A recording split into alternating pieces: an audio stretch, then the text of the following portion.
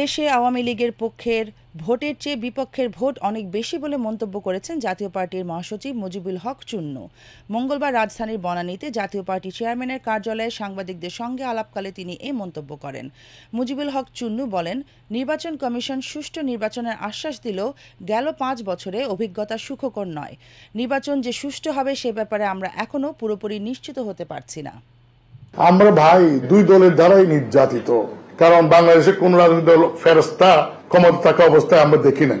Even বলতেই পারি যে শব্দ ক্ষমতা ছিল তখনকার যে সুশাসন ছিল গত বত্রিশ বছরে সেরকম সুশাসন হয় নাই। তখনকার যে দুর্নীতির যে অবস্থা ছিল বত্রিশ বছর তার চেয়ে অনেক বেশি দুর্নীতি হয়েছে।